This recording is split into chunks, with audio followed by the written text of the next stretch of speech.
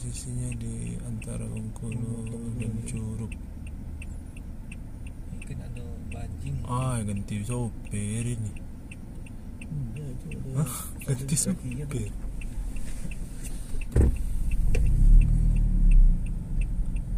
Ganti sopir